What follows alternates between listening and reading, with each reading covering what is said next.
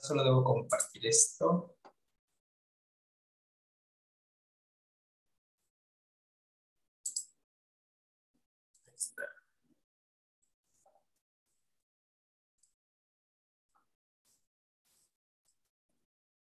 Y ya estamos. Ahora ya solo será cuestión de esperar que se vayan conectando mis alumnos. Qué estrés. ¿Qué se compartió? Sí. Buenas tardes, ahí me van escribiendo por favor en el chat en vivo si me escuchan bien para poder empezar con el tema del día de hoy.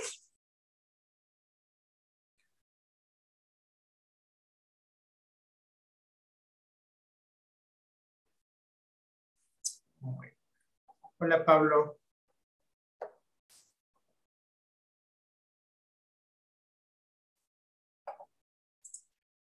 Entonces, según yo, ya está ahí.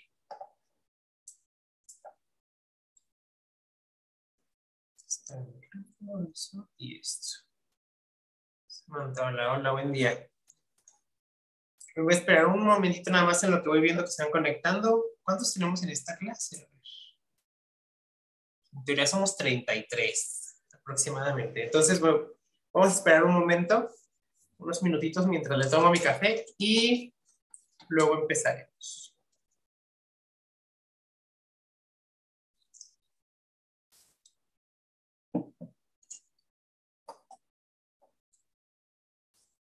Bueno, al parecer ya está. Bueno, para la clase del día de hoy vamos a revisar un método de recuento. Es para estimar la carga de los microorganismos. Hay microorganismos que nos interesa si están o no están, es decir, son pruebas cualitativas, pero tenemos otras pruebas que son cuantitativas. En el programa de análisis microbiológico vamos a iniciar con las segundas, vamos a iniciar con las pruebas para cuantificar microorganismos. El método que vamos a ver hoy se llama filtración por membrana y es bastante utilizado en realidad, o sea, existe como difusión de la técnica, pero no tanto, o sea, hay otros métodos de cuantificación que se utilizan mucho más y sobre todo aquí en México tenemos otros que también veremos en el programa, como lo son el número más probable o el vaciado en placa y la extensión por superficie. Bueno, esa última un poco menos, pero digamos que los otros dos métodos se utilizan más. Entonces, sí habrá quien, laboratorios que hagan filtración por membrana y otros que no tanto. Incluso eh, existen determinaciones como por ejemplo la de coliformes en agua, que tradicionalmente aquí en México siempre la hemos hecho por número más probable y de forma internacional es más común hacerlo por filtración de membrana, lo cual ha traído algunos problemas ahí de, de discrepancias en la regulación que ya estaremos revisando durante la presentación. Entonces, para el día de hoy tenemos el tema de cuantificación de microorganismos mediante filtración por membrana. Hoy vamos a revisar los aspectos más técnicos sobre la prueba de filtración eh, por membrana y estaremos haciendo énfasis a su mayor aplicación, que es el análisis de agua. Pero, pues cuando sea pertinente aclarar para otro tipo de muestras, pues se hará. Entonces, el contenido de la presentación del día de hoy es el que estamos viendo ahí y pues voy a empezar. Se trata de un método indirecto para la estimación de la carga microbiana. Recuerden que los métodos indirectos son aquellos que no me dicen el número de células como tal, sino me dicen el número de unidades formadoras de colonia, lo cual no son sinónimos. Dice que es un método indirecto, se me dice UFCs, para estimar la carga microbiana y se basa en la filtración de una muestra que la vamos a pasar por un filtro, que es la membrana, y la transferencia de esa membrana hacia medios de cultivo seleccionados bajo condiciones particulares para el desarrollo de microorganismos específicos. Es decir, la filtración por membrana es una técnica eh, general a partir de la, con la cual tú puedes determinar múltiples grupos microbianos. Dependerá de cuál medio de cultivo selecciones y cuáles sean los eh, valores para la incubación, temperatura, tiempo, etc. Eh, tú puedes determinar coliformes, enterobacterias, mos y levaduras, o incluso organismos como pseudomonas, o específicamente algún género, Y todo esto será la misma técnica, solamente va a variar el medio de cultivo que en el que colocas tu membrana y la temperatura de incubación. Los detalles técnicos los vemos más adelante. El procedimiento de manera general es el siguiente. Primero tendríamos que preparar diluciones. Dice que es cuando se requiera, porque no siempre. por ejemplo, para el análisis de coliformes en agua potable, la tolerancia es eh, cero, o sea, no debe haber coliformes en agua potable en una muestra de 100 mililitros. Entonces, en ese caso no necesitas preparar diluciones, porque tú lo único que necesitas es filtrar, una muestra de 100 mililitros, filtrarla por la membrana, llevas esa membrana a un medio de cultivo y no debería crecer eh, nada. Entonces, si crece, ya estás violando el requisito. Entonces, eh, desde ahí ya estaría mal. En esos casos no requieres preparar diluciones. Una muestra pueden ser 100 mililitros directos y ya. Sin embargo, existen otras muestras donde la tolerancia es mayor para otros grupos microbianos, para algunos jugos, por ejemplo, o puede ser que tú estés analizando agua, pero que no sea agua potable directamente, que tú quieras analizar agua de un río agua de un lago, y tendrás que preparar diluciones, porque si procesas nada más los 100 mililitros, quizá la carga microbiana sea tan alta que al final crezca solamente una plasta sobre tu, tu membrana y no puedas contabilizar. Entonces tendrás que preparar diluciones. Aquí eh, tú debes filtrar 100 mililitros, es lo recomendado cada vez. Entonces tú puedes preparar varios botellines, incluso con 100 mililitros. Que fíjense que aquí la dilución, en la filtración por membrana, la dilución no siempre tiene que ser en relación a un volumen, sino es la cantidad de muestra que va a pasar por la membrana. Si tú tienes un botellín con 100 mililitros de un diluyente y le agregas 10 mililitros de tu muestra, lo agitas y al momento de pasarlo por el filtro, sí están pasando 110 mililitros, pero en realidad solo están pasando 10 mililitros de muestra. Si se fijan, el diluyente es como, como nada más un vehículo. Tú puedes tener un botellín con 100 mililitros y colocar un mililitro de muestra. Lo agitas, lo filtras y por la membrana solamente pasó un mililitro de muestra. Puedes tomar 100 microlitros, inocularlos en 100 mililitros, filtrar los 100 mililitros y solo pasó 0.1 mililitros de muestra. E hiciste, entonces ya son diluciones. Puedes filtrar 100 mililitros, 10 mililitros, 1 mililitro y 0.1, aunque todos estén en el mismo volumen de líquido. Simplemente cuando pasen por la membrana, por la membrana solamente pasó cierto volumen de muestra. Aquí las diluciones se manejan un poquito diferente. En otras determinaciones, la dilución pues es en relación, para poder llevar a cabo la dilución, es en relación a volumen de muestra, volumen de líquido, estoy de acuerdo. Aquí el volumen de líquido, el volumen de diluyente no es tan importante porque al final cuando filtras, lo que importa es la cantidad de muestra que pasó a través de la membrana, ¿ok? Después de que preparamos las diluciones, vamos a hacer la filtración como, como tal Vamos a transferir luego las membranas hacia los medios selectivos y procederemos a la incubación y al recuento. Este sería como el armatoste, la, la estructura más clásica de una filtración por membrana. Vamos a ir revisando cada uno de los componentes y luego vamos a ir eh, observando variantes que cada componente tiene, porque hay otras formas de hacerlo, no solamente así, pero las iremos viendo justamente con cada uno de los sustitutos. Entonces está compuesto de un embudo que va en la parte superior. Aquí en medio se coloca la membrana y este de abajo se llama portafiltros. Estas se llaman pinzas de sujeción, sirven para mantener unidos estos dos. Esto, todo este sistema está conectado hacia un matraz quitasato, el cual a su vez está unido a una bomba de vacío a través de esta conexión para que aquí se genere vacío y se lleve a cabo la filtración. Estos serán como los componentes más elementales. Vamos a ir revisando la utilidad de cada uno. Nada más déjenme revisar si alguien. Recuerden que estamos aquí en el chat, eh, que estoy revisando constantemente. Pausa la presentación para revisar el chat en vivo. Por si tienen alguna pregunta, escríbanla ahí y las iremos resolviendo durante la clase. Como no veo dudas todavía, entonces voy a continuar.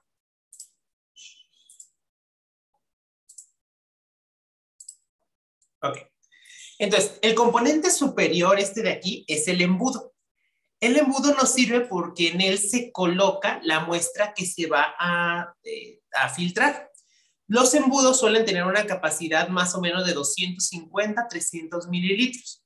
Eso no significa que tú no puedas filtrar más muestra. Tú a través de este, de este sistema, tú puedes filtrar, por ejemplo, un litro, pero en el embudo solamente caben 300 mililitros. Así que, ¿qué vas a hacer? vas a colocar todo el sistema, agregas tu muestra, que va a ser un litro, filtras los 300 mililitros y antes de que se termine el líquido, tú le sigues añadiendo y le sigues añadiendo de tu muestra hasta que al final pase todo el litro completo. Entonces tú sigues agregando, sigues agregando y así es como logras hacer la filtración de un volumen total. Si no requieres, si vas a filtrar un litro, no requieres un embudo de un litro. Creo que ni venden. No sé si vendan, ¿eh? creo que no. Entonces están los embudos pequeños, pero tú vas adicionando más muestra. Con un, un embudo de 250, 300 mililitros funciona porque casi siempre el volumen que vas a filtrar, que es el que está estandarizado, son 100 mililitros. Ahora, el embudo tiene una graduación, pero recuerden que esa graduación, este sigue siendo un, eh, eh, una graduación para eh, contener un líquido, no para medir. Entonces, el volumen debe estar medido desde antes. Tú debes con una, prope, con una probeta estéril medir ahí tus 100 mililitros de muestra y luego eso filtrarlo todo. Es decir, no utilizar esta escala como medición, porque para eso existen los utensilios para medir, tal cual, los volúmenes. Entonces, eso nada más tenganlo muy presente. Ya que se va a filtrar, la muestra se transfiere el directamente aquí. Entonces, por, como la muestra va a estar directamente aquí, debe esterilizarse entre cada muestra. Entonces, un embudo te sirve para filtrar una muestra y si quieres filtrar otra, pues, para que no se contamine, debes esterilizarlo otra vez. Existen distintos, por, por lo tanto, pues vas a, lo conveniente es que tengas varios embudos. Existen distintos materiales, existen los embudos que son de acero inoxidable, puse metal ahí, pero típicamente es acero inoxidable. Eh, son costosos, pero son altamente resistentes y reutilizables. Tenemos los que son de vidrio, que están como este que estamos viendo aquí en el ejemplo. Estos dos se pueden esterilizar en autoclave, pero también se pueden esterilizar por flameado. Eso es una ventaja porque puedes, no requieres pasar todo un ciclo de esterilización para poder procesar más muestras. El flameado consiste en asperjar etanol eh, 96 grados, no es para desinfectar, es para flamear, entonces no lo requieres a 70 grados.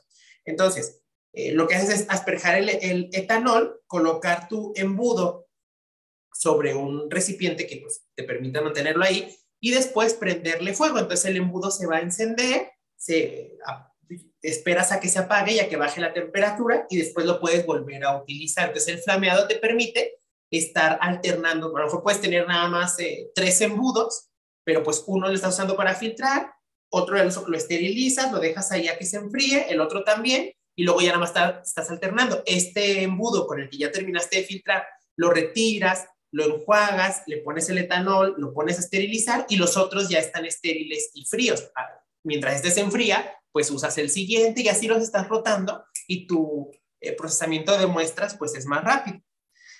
Por otro lado, tenemos los embudos que son de plástico. Tenemos plástico reutilizable como el que está aquí. Estos normalmente se esterilizan en autoclave, ah, resisten, o en cámaras de luz ultravioleta. Entonces tienes como unos gabinetes que, que, tienen lámparas de luz ultravioleta a ambos lados. Tú dentro colocas los, em, los embudos, hay una posición específica para colocarlos y luego cierras el gabinete y enciendes el tiempo que marquen, ¿no? Son cinco minutos, pero no, bueno, yo tengo son cinco minutos, no sé si todos sean iguales, pero entonces enciendes y ahí cinco minutos esperas y luego ya los puedes reutilizar. Y por último tenemos estos sistemas que son de plástico desechable. Si tú realizas la filtración, pero pues a lo mejor te resulta más conveniente desechar el, el material, o sea, no, no, reutilizas, a lo mejor no lo haces tanto, a lo mejor lo vas a hacer solamente para una ocasión en particular, pues puedes adquirir estos son desechables, cual se coloca, el, ya está estéril, abre la bolsita, colocas el embudo, filtras y después ya lo puedes descartar. Entonces, estas serían como las variantes de embudos que tenemos para la filtración por membrana. Si se fijan, todas están eh, eh, graduadas, pero igual el volumen hay que, hay que medirlo con probeta o por alguna otra equipo que sea, equipo, eh, utensilios que sean directamente para medir. Ahí. Luego, Después están las pinzas de sujeción que sirven para detener el embudo y el portafiltros.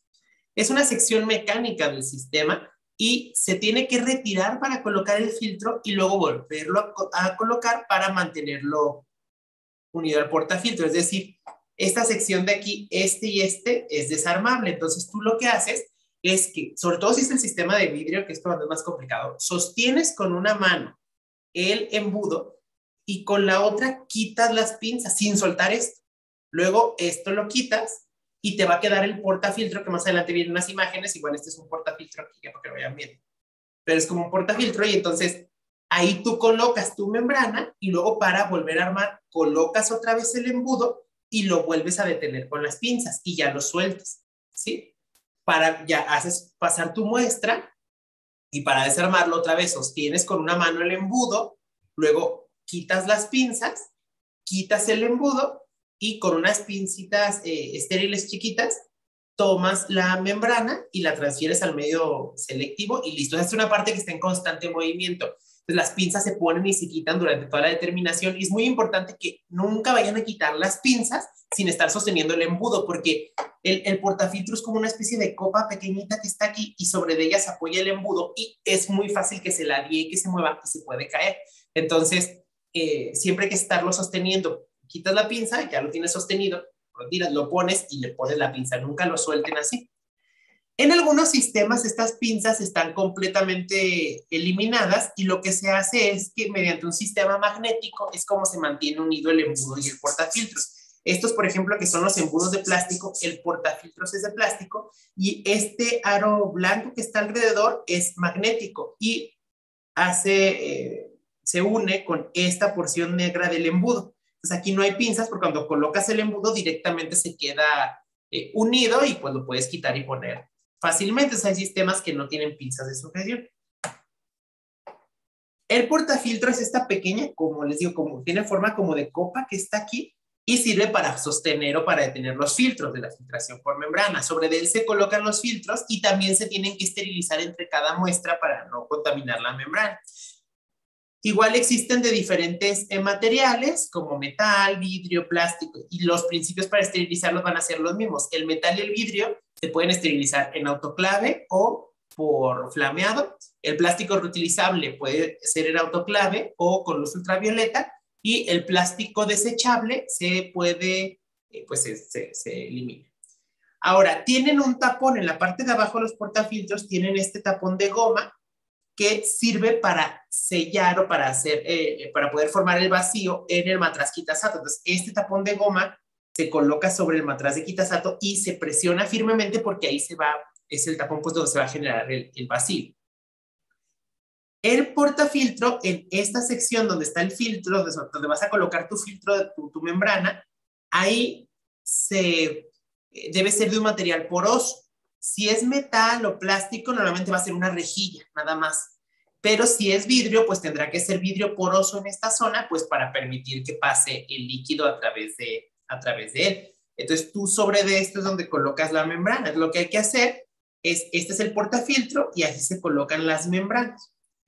Las membranas están elaboradas de nitrocelulosa, son una por cada tipo de, por cada muestra, y suelen, así como las estándares, tener 47 milímetros de diámetro, o sea, de, esta, estas circunferencias son 47 milímetros, 4.7 centímetros, se colocan entre el portafiltros y el embudo. Al término de la filtración, esto se transfiere hacia medios selectivos. Lo que se hace es que se coloca, literalmente ya, ya se filtró, se toma con unas pinzas la membrana con cuidado y se transfiere directamente sobre el medio. No se le da la vuelta. Es decir, si la membrana, uh, tú filtras y esta es la cara de la membrana que estaba hacia arriba, o sea, aquí arriba estaba el embudo y aquí abajo, mi mano esta, sería el portafiltro. Los microorganismos pasaron en esta dirección, entonces quedaron retenidos en esta parte de la membrana. Cuando lo transfieres al medio de cultivo tomas la membrana y así en esta misma posición la transfieres al agar. Es decir, no se le da la vuelta, sino que se transfiere como estaba. Porque los nutrientes del medio de cultivo van a pasar de abajo hacia arriba, se fijan, incluso la membrana toma la coloración del medio y las colonias se desarrollan en la parte superficial de la membrana. Entonces, literalmente solo colectas la membrana y la transfieres a un medio selectivo. Ahora, esas cajas que estamos viendo en estas fotografías son cajas estándar, cajas de Petri de tamaño normal, pero eh, venden, para no desperdiciar tanto agar, porque pues al final vean nada más dónde crecen las bacterias y todo este agar pues no se utilizó, entonces es como mucho desperdicio. Para no desperdiciar tanto agar, existen cajas de Petri más pequeñitas que miden apenas 5 centímetros y te dejan el espacio para que coloques perfectamente una membrana, gastas menos agar, es una mejor opción. Las membranas existen de diferentes tipos. Las clásicas serían estas que están aquí, son de punto 45 a punto 47 micras y es para el análisis general de bacterias, levaduras, mohos, etc. Existen otras membranas que se utilizan para otros fines. La, por ejemplo, la de punto 22 micras es con fines de esterilización, normalmente se acoplan a una jeringa. Eh, y existen otras para determinaciones en particular, pero la de punto 47 micras es la eh, membrana estándar, punto 45, punto 47, son las estándar. Ahora, ¿cuánto mide, por ejemplo, una E. coli? Una E. coli mide como una micra de grueso por dos o tres micras de largo. Entonces, si el poro de esa membrana es de punto 47 micras, pues las bacterias van a quedar retenidas ahí sobre la membrana, si fuera, como si fuera una red, porque pues no, no cabe. Entonces, el, aquí la remoción es mecánica. Ahora, la porción eh, inferior del sistema es el matraz quitasato. Este matraz quitasato es un contenedor. Aquí se va a generar el vacío. Está sellado por la parte superficial con el tapón de, de goma del embudo y la única conexión que tiene pues es hacia la bomba que va a succionar para que se genere el vacío. Ah, se conecta la bomba de vacío y pueden conectarse además varios en serie. Ahora les presento unas imágenes. Eh, su función es recolectar el líquido filtrado, pero deben tener cuidado con la capacidad, porque obviamente es un litro. Entonces, si tú estás filtrando 100, 100, 100 mililitros, pues después de, de 10 muestras, ya va a estar al top. Entonces, debes estar cuidando el líquido para que más o menos cuando llegue como a esta altura, paras, desarmas todo y debes descartar el agua del matrasquitasato, porque si no se empieza a llenar y entonces el agua va a ser succionada por esta, eh, por, por, esta salida y eso puede llegar a la bomba y lo puede estropear. Entonces, para evitar eso, pues hay que estar desarmando el sistema y hay que estar cambiando el matraz. Además, algunos sistemas sustituyen este matraz por unas tuberías o por algún otro recipiente. Entonces aquí, en lugar de estar en matraz, pueden estar unos tubos que decantan directamente el agua, lo cual es muy cómodo. Miren, aquí tenemos, estos de aquí se llaman manifold. El manifold lo que hace es que es el embudo, la membrana, el portafiltro, pero el portafiltro está conectado hacia este tubo. Y este tubo, a su vez, está conectado a la bomba de vacío por, por uno de los está conectado hacia otro recipiente que es donde eh, descartas el agua y es hacia la bomba de vacío o a un contenedor.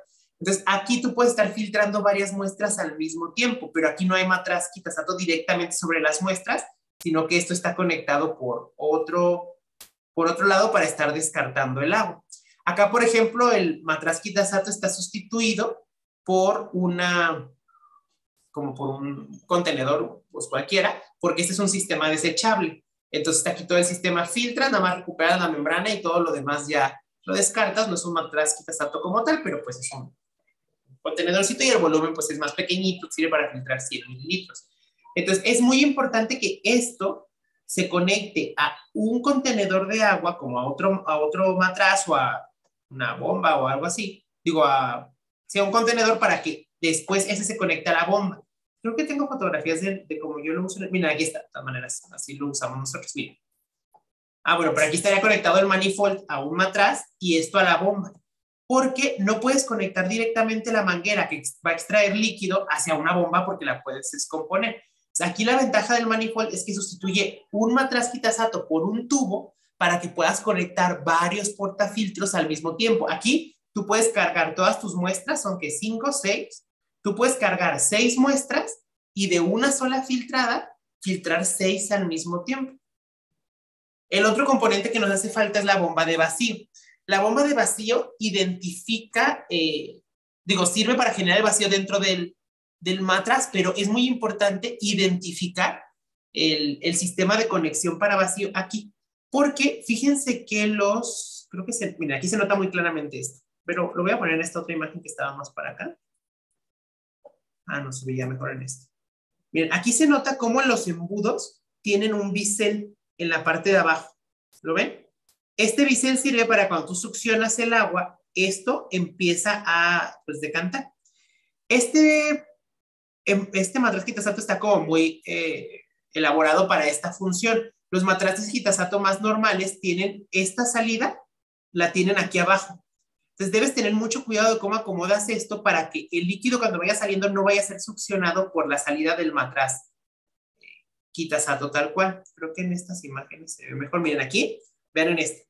Está el tapón, aquí está el embudo y aquí termina el bisel. Y el bisel, si se fijan, termina exactamente donde está la salida para conectar la manguera. Aquí deben ser muy cuidadosos de colocar el bisel del lado contrario a donde está esta salida para evitar que vaya a succionar el líquido y se nos vaya a ir por, por ahí. Es un problemita que tiene el diseño normal de matrasquita santa porque es para muchas cosas, no solo para la filtración. Si vas a acoplar el sistema, pues hay que tener esos cuidados.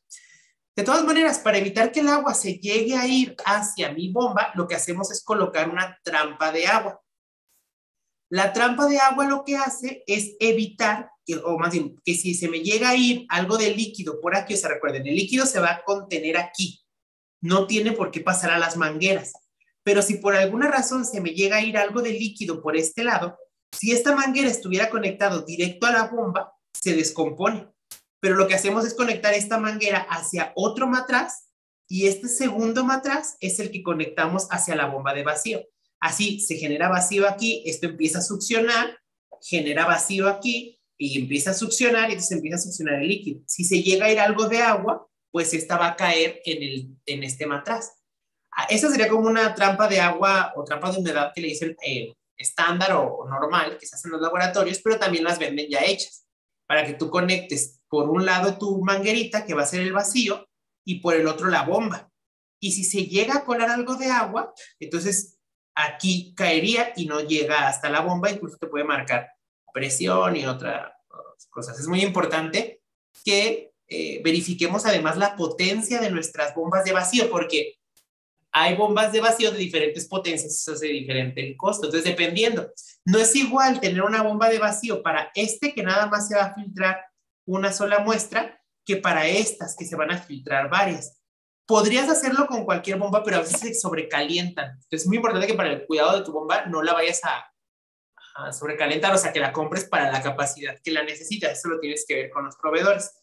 Las bombas, además, tienen se fijan aquí estos como dos eh, medidores. Uno es porque uno es para eh, generar el vacío, o sea, es succión, y pues si uno es succión, el otro es expulsión. Entonces, estas bombas sirven para, los, para las dos cosas, para succionar o para llenar. Entonces tú podrás, no sé, si quieres llenar un globo de aire, pues aquí la puedes conectar y lo llenas. Pero es muy importante que cuando conecten las mangueras se aseguren de que están conectando la manguera de la succión.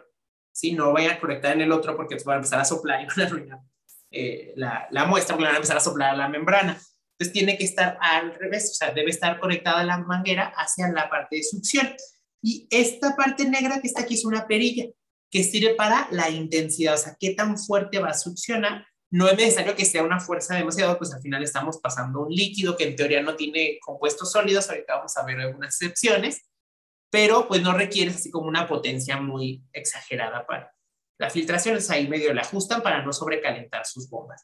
Es muy importante proveer el mantenimiento, eh, de, que les marque el proveedor, porque de pronto, pues si puedes, eh, nosotros teníamos una bomba, por ejemplo, que ya la prendíamos y en cuanto la prendíamos empezaba a calentar demasiado, pues era porque no le habíamos dado mantenimiento y estaba como tapada con polvo por, por adentro. Entonces es muy importante que lo provean. Ah, me caí. No sé, a ver, me salió un letrero. Déjenme ver. Bueno, ¿nos tengan hasta este momento alguna pregunta?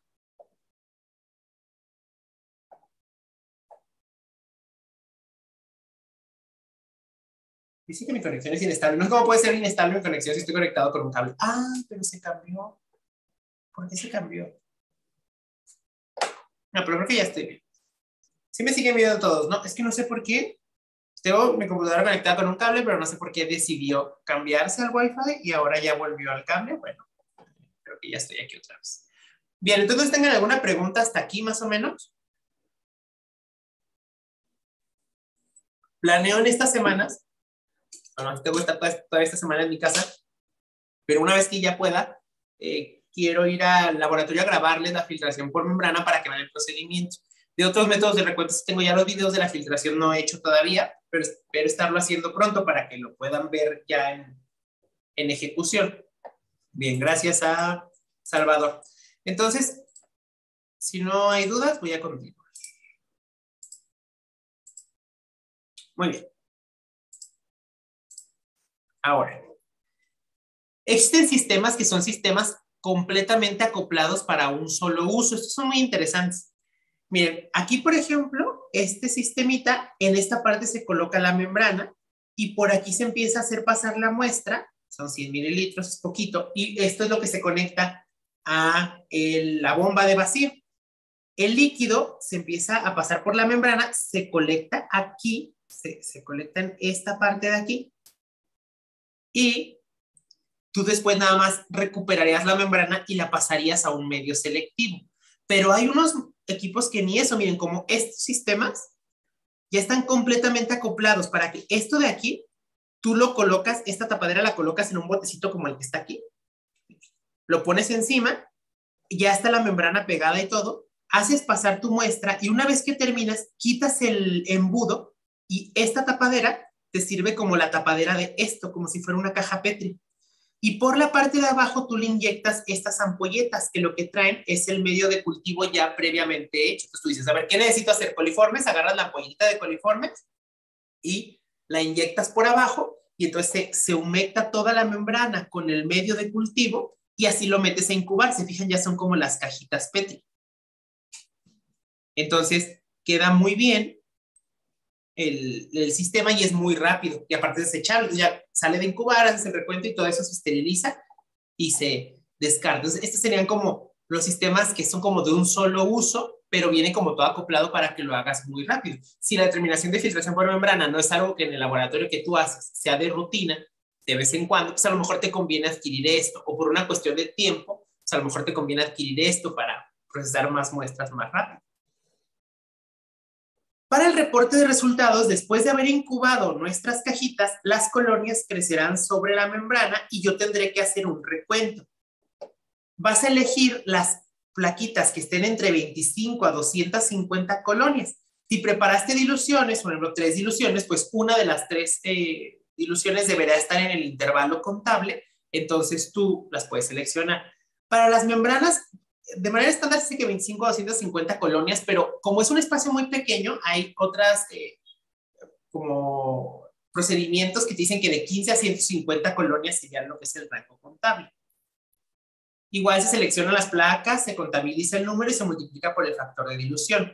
Ahora, esto, esto tal cual, sí vamos a revisar muchos ejemplos, pero lo vamos a revisar en el tema del vaciado en placa porque en el vaciado en placa ahí tengo ya todos los ejemplos desglosados de cómo contar. Lo que se ve ahí aplica para todos los recuentos en placa, incluida la eh, filtración por membrana, para que eh, sepan que esto de cómo contar colores, cómo seleccionar, cómo multiplicar por el factor de dilución, hay ejemplos en, eh, en la clase de vaciado en placa. Ahora, ¿qué ventajas tenemos de, ventajas, desventajas de esta determinación? Como requiere tiempo de incubación, pues no se pueden utilizar para monitorear los procesos en tiempo real. Eso quiere decir que, pues, tú vas a obtener un resultado del proceso anterior, no del que está ocurriendo ahorita, siempre, porque al menos incubas 24 horas. Entonces, sí sirve, pero para decidir sobre los lotes que ya se fabricaron, no sobre los lotes que se están fabricando. Para eso hay otros métodos que vamos a ver en la unidad de métodos rápidos. No presenta etapa para revertir el estrés microbiano, lo cual es una desventaja. No sé por qué puse ventaja. Ah, no sé por qué puse ventaja, pero bueno, es desventaja. No presenta una etapa para revertir el estrés microbiano. Esto quiere decir que las células que vengan estresadas, no hay un preenriquecimiento que vamos a ver luego en otras determinaciones. Entonces lo pasas, tomas esa muestra, e, esa membrana y la llevas directo a un medio selectivo. Si las bacterias están estresadas, un nivel de estrés grande, van a morir. En las bacterias el estrés es un daño fisiológico subletal, es un daño físico que casi las mata, pero no. Y se caracteriza porque las bacterias no pueden crecer en presencia de inhibidores. Aún sean inhibidores que antes no les hubieran hecho nada, como están estresadas, ahora sí les afecta.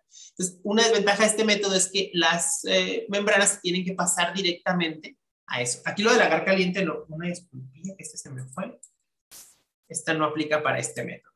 Luego, ah, porque está copiado dos veces.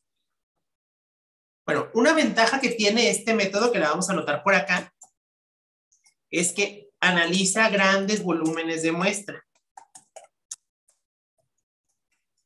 Porque en otros métodos tú puedes analizar volúmenes más pequeños, cuando mucho 10 mililitros. O sea, 10 mililitros de muestra que puedes analizar. Acá puedes analizar 100 mililitros, incluso hasta varios litros. Porque depende de la membrana que tú adquieras. Si esta membrana permite filtrar 3 litros. Entonces tú puedes estar añadiendo líquido hasta filtrar 3 litros. Recuerden que mientras más grande sea el volumen que se va a analizar, es mejor desde el punto de vista de el, pues el muestreo, ¿verdad? Mientras de, la, de la representatividad. Entonces, bueno. ¿Qué aplicaciones tenemos de, de, esto? ¿Dónde se aplica? ¿Dónde se usa? Existen diferentes metodologías. Por ejemplo, esto que estamos viendo aquí es el recuento de E. coli y coliformes por filtración de membrana. El método es el ISO, este que está aquí. Fíjense que este está, está muy padre porque te, pide que uses un agar cromogénico. A ver, los medios de cultivo cromogénicos son un poco más eh, costosos, digamos, que los métodos convencionales, o sea, que, los agares convencionales. Siempre que hay un, medio cromogénico, tiene la desventaja de que es más costoso. De hecho, te venden botes muy pequeños. Pero te dan una gran ventaja. Y es que son muy selectivos. No nada más para inhibir a microorganismos que no son parte de, que no quieres tú cuantificar, sino que además las reacciones que se hacen ahí son altamente específicas, porque las reacciones que se hacen en los medios selectivos diferenciales ordinarios son reacciones como de producción o no producción de un ácido, producción o no producción de ácido sulfídrico, utilización o no de un aminoácido, y son reacciones muy generales. Aquí los medios cromogénicos dan reacciones muy específicas, es saber si esta bacteria utiliza este compuesto como sustrato y tú lo puedes aunar eso a una molécula que dé el color. Vamos a ver eso, incluso vamos a revisar la patente en la unidad de métodos rápidos, pero para que lo sepan, tiene la ventaja de que es mucho más específico y nos permite diferenciar entre bacterias que de otro modo no podríamos. Y un ejemplo muy claro es este, déjenme a compartir. Porque este, este medio me permite distinguir de una sola los coliformes totales de la Escherichia coli. En este medio los coliformes crecen de color rosa y la E. coli crece de color azul. ¿Lo puedes distinguir de un jalón? Si no, si utilizaras cualquier otro medio, como por ejemplo un agar endo, como los coliformes y la E. coli, porque la E. coli es un coliforme. Como los coliformes y la E. coli son fermentadores de lactosa, los dos crecen igual en ese medio. Tu forma de distinguir si es E. coli o, o si es una colonia e. coliforme nada más es seleccionar esa colonia y hacerle pruebas bioquímicas. Entonces, imagínense hacer eso, hacerle limbic, que eh, seguro revisaron en una clase anterior, si no, de todas maneras lo van a revisar aquí cuando veamos el número más probable. Entonces, imagínense estar haciendo eso con unas de estas colonias para saber la proporción de Escherichia coli, mucho trabajo, pero en este medio de una vez tú puedes distinguir, contar E. colis y contar coliformes. ¿Por qué es importante? Porque hay algunas muestras como con el agua potable, donde desde que tenga coliformes está muy mal. Encontrar coliformes ya habla de que el proceso de potabilización no estuvo bien o que se contaminó después. Pero hay otras muestras, como por ejemplo una muestra de una fruta, así, una fruta, una hortaliza fresca, que los coliformes totales, como son ambientales, no te implicaría nada eh, desde, desde, el punto de vista de la higiene, y ahí el indicador que te importa es E. coli, por eso ahí no se vale no, no, es que no se vale no tiene caso reportar cuántos coliformes totales nada más, sino que hay que decir E. coli porque es nuestro indicador de higiene más importante en ese tipo de muestras. Entonces, aquí este agar te permite distinguirlo de una vez. Entonces, tú, miren, lo, colocas tu membrana sobre el medio y tú aquí puedes decir, hay tantas unidades formadoras de colonias de E. coli y tantas unidades formadoras de colonias de eh, coliformes totales. Según este método, dice que hay que filtrar 100 mililitros de la muestra o 250 mililitros si es agua embotellada, porque supone que tiene menos carga y analizar más muestra. O no menos de 10 mililitros de la muestra y sus respectivas diluciones. Se incuba a 36 grados centígrados durante dos horas, perdón, 36 grados centígrados más menos 2, durante 21 24 horas para poder hacer el recuento. Otra aplicación la tenemos en la norma oficial mexicana, la 210, para la determinación de eh, enterococos, enterococos fecales en agua. El indicador de enterococos se utiliza mucho, pero para agua de uso recreativo, como para saber si una alberca es adecuada en cuanto a higiene para que la gente entre, porque el agua de las albercas no se cambia cada, o se cambia uh, cada 20 mil, no se cambia diario. Entonces ustedes van a un balneario y pues el agua de las albercas es mucho, mucho dinero. Entonces, no crean que entran en un balneario, no crean que es agua del día, pero probablemente es agua del mes. Entonces tiene mucho tiempo ahí.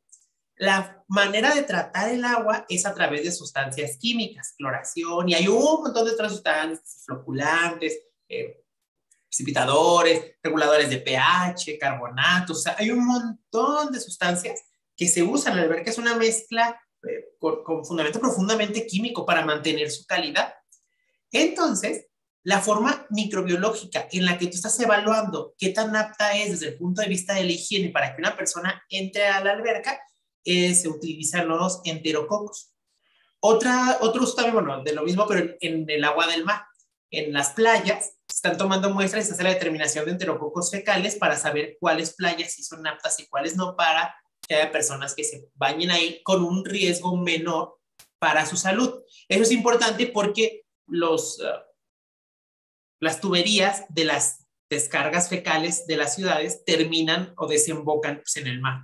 Entonces tienen que estar colocadas a cierta distancia y en algunas zonas en particular. Entonces hay sitios donde no se puede eh, nadar porque pues tiene materia fecal. Yo luego los veo a ustedes que andan de intrépidos y que ven así como que no se puede nadar en esta playa. Y ustedes dicen, ay, pues no importa, está padre y las olas están, pues no es por las olas. Hay playas que sí no puedes porque son peligrosas, pero hay otras que tú las ves y dices, ay, no se ve tan peligroso. ¿Y por qué no me puedo meter? No te puedes meter porque no es adecuada el agua para que tú te metas porque te hace daño. Entonces, una forma de determinar qué tan higiénica es el agua es a través de la cuantificación de enterococos fecales. Está explicado en la norma 210, en el apéndice normativo F, y de hecho el método que utilizas es la filtración por membrana. Aquí utilizas un medio de cultivo que es el medio Slanes Barclay o agar M enterococos. Y fíjense, este es, eh, les pongo aquí nada más la preparación del medio porque si algún día les toca hacerla, tienen que saber que el medio tiene un compuesto que se llama ácida de sodio, que es un polvo muy tóxico y es mutagénico, un componente mutagénico. Entonces, durante la preparación, siempre tienen que ponerse equipo de protección, porque cuando están pesando el medio o así, puede desprenderse polvos que ustedes inhalen y les haga daño. Entonces, eh, deben evitar también el contacto con la piel, así que siempre equipo de protección. De hecho, hay muchos laboratorios que prefieren este ya comprarlo preparado, comprar las placas ya hechas para no prepararlo ellos por el riesgo de la ácida de sodio. Y también recuerden que los medios que contienen ácida no deben mezclarse con ácidos minerales fuertes, ya que pueden producir ácida de hidrógeno, que es tóxica. Las soluciones que contienen pueden formar también compuestos explosivos por contacto con tuberías metálicas, por ejemplo, en los desagües. Así que mejor, pues con cuidado. Tiene eh, una manera de descartarse que también está ahí en la norma, que es con solución saturada de nitrito. Pero bueno, ahí nomás los dejo para que sepan que este medio tiene sus cuidados. Otra determinación es, en el, fíjense, esta fue como, ay, no he revisado el chat, no sé si han puesto algo. Fíjense que esta determinación que les voy a poner ahorita, a ver. Dice Samantha, en el, que en el que se succiona varias muestras a la vez. ¿Pueden ser diferentes muestras? Sí, sí, sí, pueden ser diluciones de la misma muestra o pueden ser diferentes muestras, así te ahorras un montón de trabajo. Eh, dice Jesús Esteban, ¿al líquido también se le hace algún análisis? Me, imagino que te refieres al líquido filtrante. No, ese ya no interesa. De hecho, de ese líquido la carga microbiana es muy baja porque tú tienes una membrana por donde lo hiciste pasar y el líquido que está abajo, pues ya no tiene muchos microorganismos, si acaso los que sean más pequeños que el tamaño de poro de la membrana, que sí hay. Entonces, pueden pasar por ahí, pero la gran mayoría de coliformes, E. coli, incluso la mayoría de los patógenos ya quedaron retenidos en la membrana, así que en realidad incluso es una forma de, de tratar el agua, la filtración. No lo vamos a ver en esta clase, pero una forma de tratar el agua con métodos puramente físicos es la filtración, aunque los filtros tienen que ser de un tamaño de poro más pequeño, etcétera. Pero resolviendo tu pregunta, no. Al líquido filtrante no se le hace ninguna prueba, si ya se descarta. Incluso en el, en el matraz, pues tú a lo mejor vas a filtrar cuatro o cinco muestras, vas a estar cambiando el embudo, el portafiltro, lo esterilizas, cambias las membranas, pero todo el líquido se está recibiendo en un solo matraz y ya al final nada más se, se descarta, no se le tiene que hacer ningún análisis ni nada por el estilo. Ah, creo que está. A ver, para mantener la esterilidad de la membrana, ¿en qué sitio se lleva a cabo este proceso? Obviamente todo lo que veamos se tiene que realizar en área séptica. Ahora, como eh, tienes, pues tienes opciones. Si tienes una campana de flujo laminar, pues sería la idea, ¿verdad? Una cabina y así para hacer la filtración, pues es lo mejor. Pero si no, pues lo puedes hacer con un mechero nada más, que el mechero debe proveerte un área séptica, pues grande, o sea, suficiente.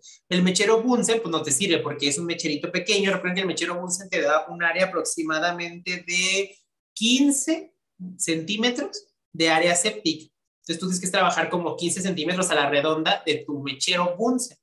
Pero el mechero Fisher, que es el grande, te proporciona un área de aproximadamente 40 eh, centímetros. Entonces tú tendrías que hacer un área séptica, pero que se acorde al volumen, si un matraz, un, eh, un embudo, un portafiltro que es bastante grande, pues tendrás que utilizar un mechero, eh, ¿cómo se dice? Un mechero Fisher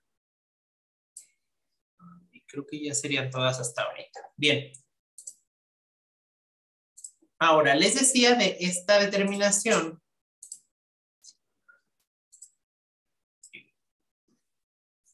Fíjense que este fue todo un drama porque desde el 2011 eh, Barack Obama firmó una ley que se llama eh, Ley de Modernización en la Cuidado de Alimentos, FSMA, y esa ley se compone de varios reglamentos. Un reglamento es específicamente para la inocuidad de frutas y hortalizas frescas. Es el que le, dicen Produce Safety Rule y de ahí surgió una alianza que hace la regulación de ese reglamento, que es la, la capacitación de ese reglamento, que es la Produce Safety Alliance.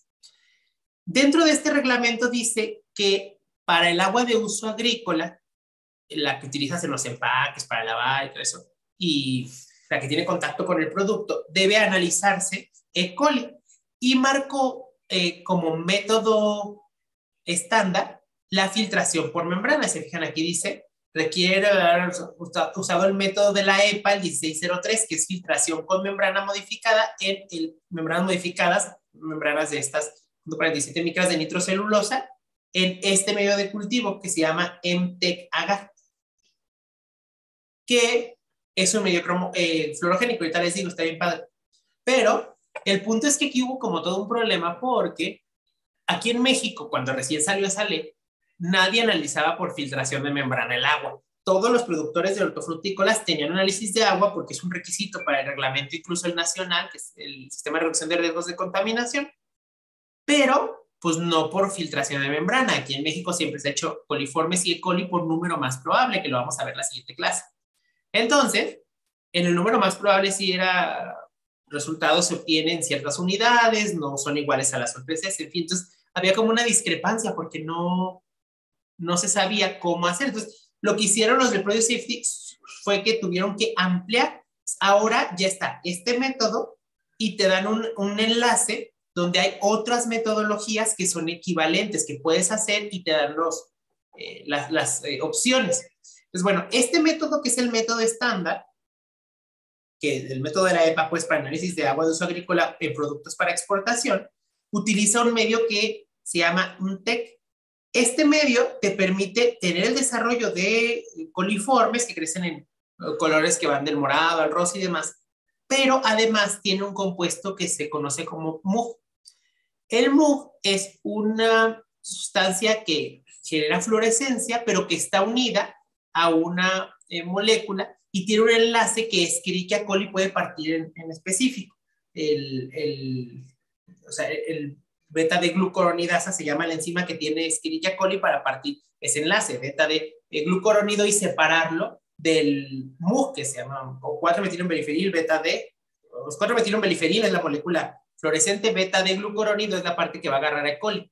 Entonces, Escherichia coli lo que hace es partir este enlace, se lleva el, el compuesto glucoronido porque eso lo utiliza como fuente de carbono y la porción del 4-metilumbiliferil es fluorescente. Nada más que cuando está unido en la molécula grande no expresa fluorescencia y una vez que lo separas, ahora sí. Entonces, las colonias de Escherichia coli son fluorescentes cuando las iluminas con luz ultravioleta. Entonces, ¿tú qué haces? Haces tu recuento de coliformes totales y a lo mejor dices, aquí hay 170 coliformes totales y luego esta cajita la metes a una cámara de luz ultravioleta y cuentas las colonias que son fluorescentes de color azul o blanco, o sea, como entre blanco y azul, y esas serían las colonias de Escherichia coli y puedes hacer un recuento eh, diferenciado, porque al final, para el reglamento este, lo que te importa es E. coli, pero estamos conscientes de que para otros reglamentos, como por ejemplo, por ejemplo, por ejemplo el reglamento en México, lo que te importa son los coliformes.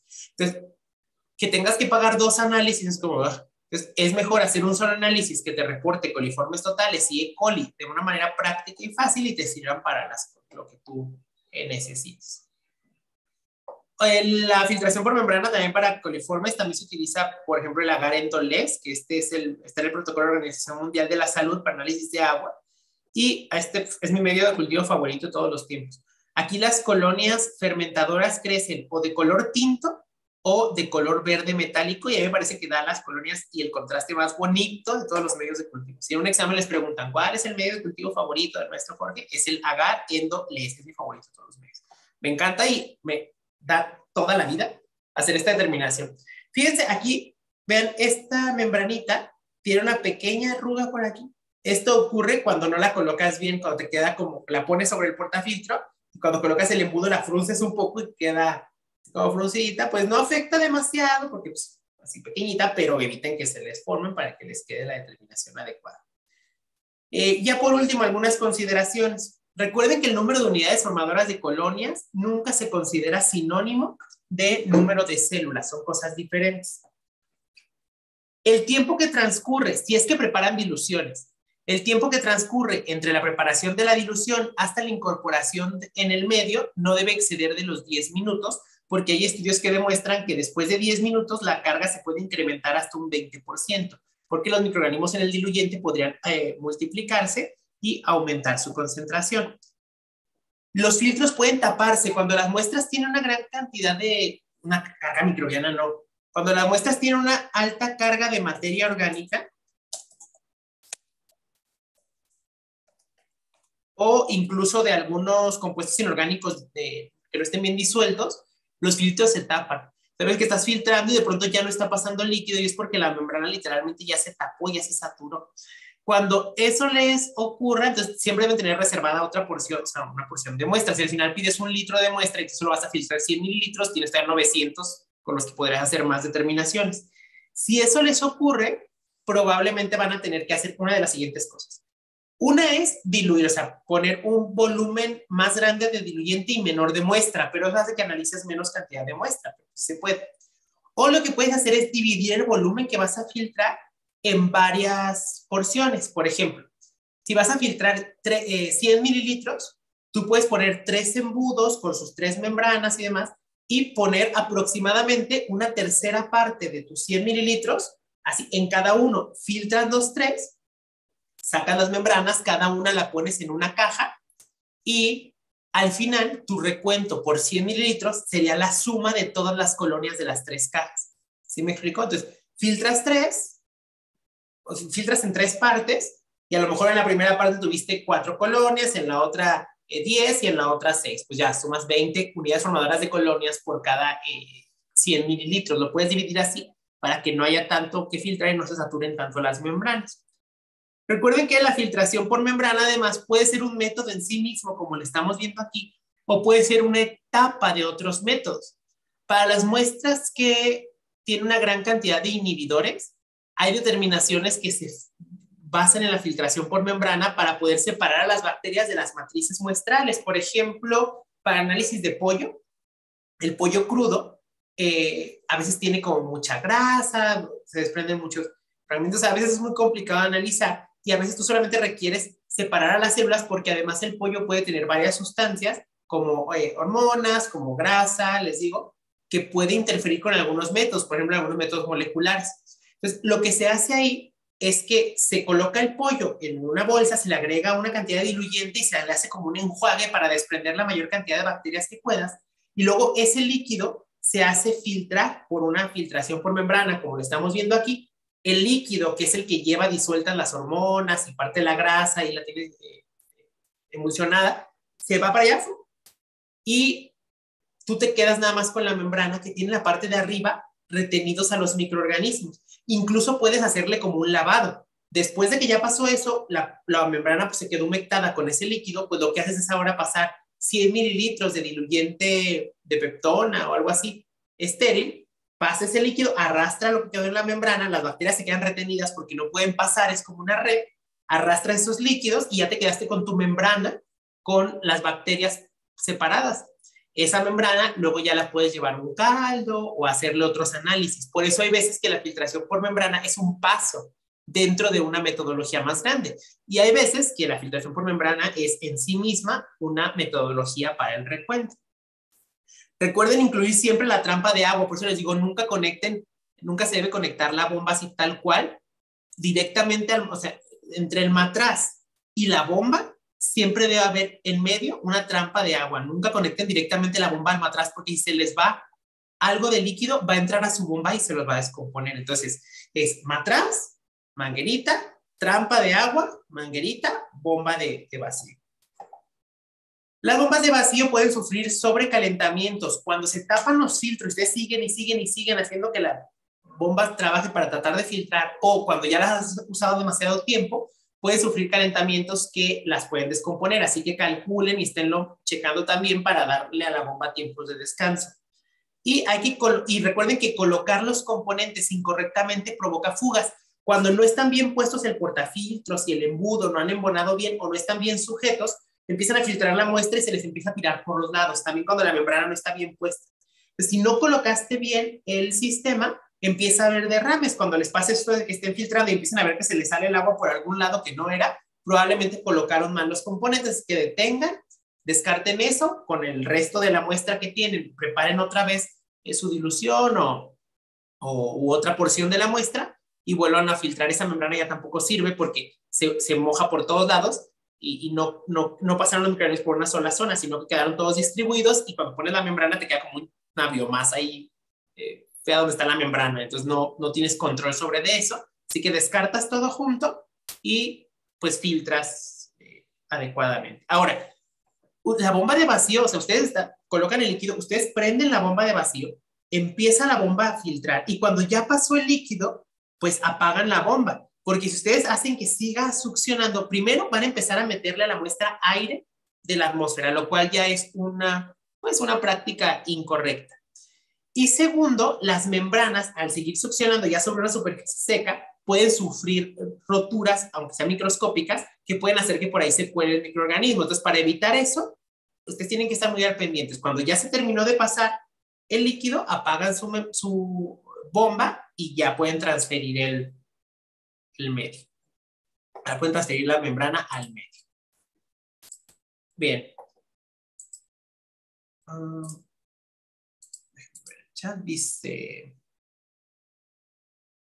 ¿a qué se refiere con trampa de agua? Es el que les, el que les puse antes, lo que les puse antes de... Um, ya he cerrado esto. La trampa de agua es lo que les mencioné en esta sección. Vuelvo a abrir.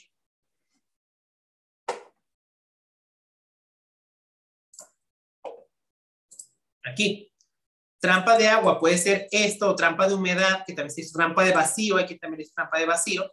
¿Qué es esto? Aquí, está, aquí estaría su matraz, estaría conectado con una manguera hacia esta zona y luego con otra manguera hacia la bomba de vacío para que si se llega a ir algo de líquido quede atrapado aquí. O directamente se puede hacer como está aquí.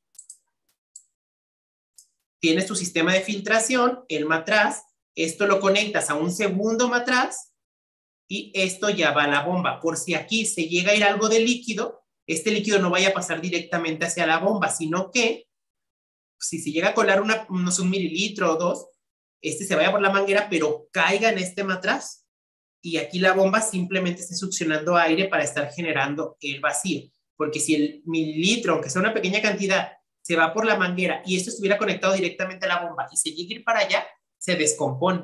Entonces, es muy importante que siempre tengan sus trampas de agua o trampas de, este, de vacío o de humedad, como les quieran decir.